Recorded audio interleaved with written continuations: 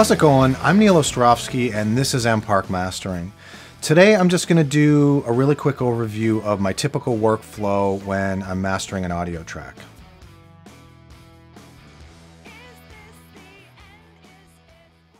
So whenever I get a pre-master, it starts off in this playback computer, which is a Mac Pro running Pro Tools.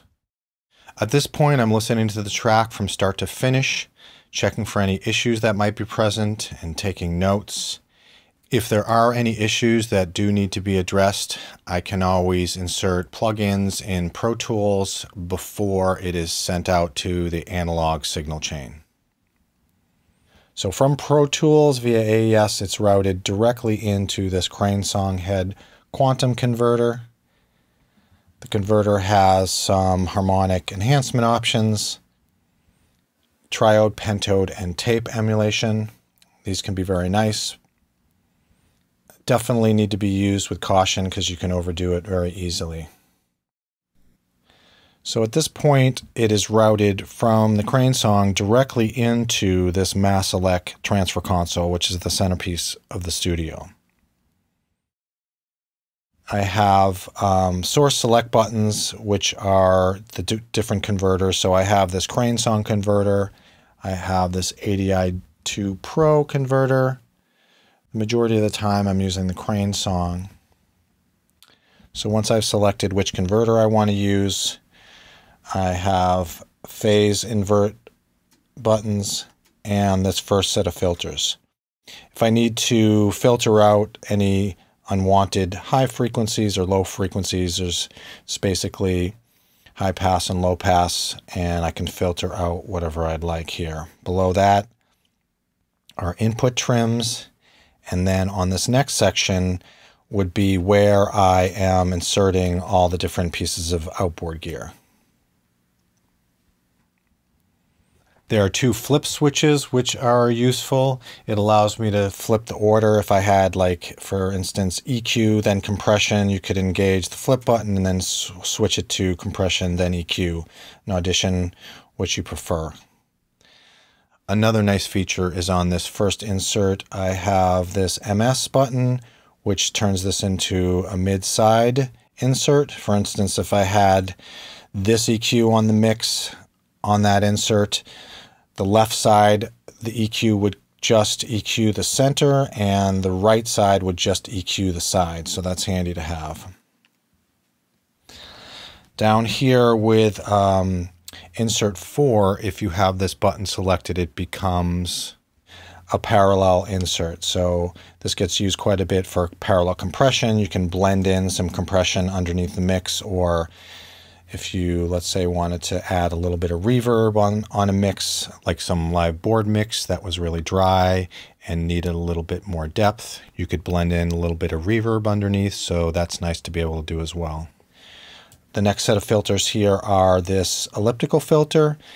If you had a mix that had excessive low end on the sides, um, something you might want to pay a little closer attention to if you're mastering for vinyl, you can engage this, select the frequency, and then from that frequency below, it makes everything mono.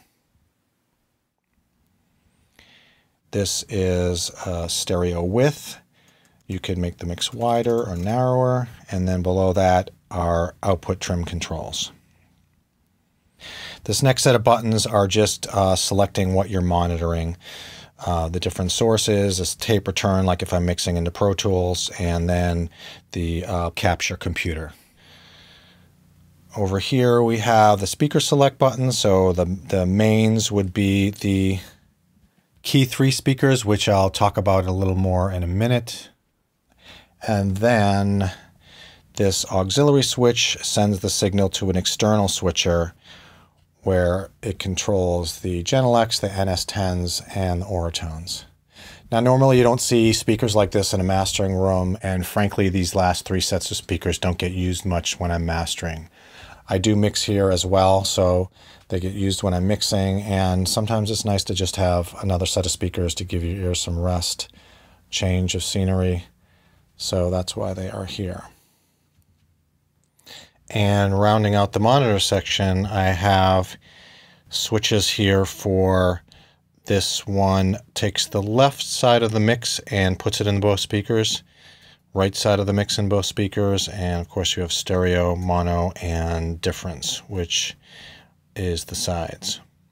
So it's really convenient to have those right at your fingertips.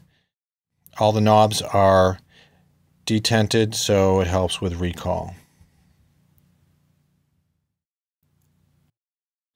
As far as outboard gear, um, some of the pieces that get used quite often are this RJR Bax EQ, which is fantastic for some gentle tone shaping.